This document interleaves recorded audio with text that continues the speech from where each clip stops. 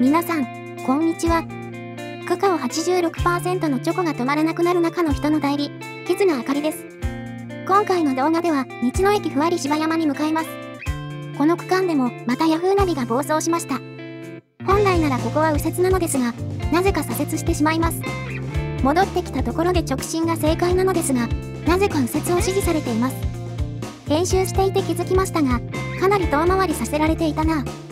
そんな感じで変なルートで走っていますが、温かい目で走行風景をお楽しみください。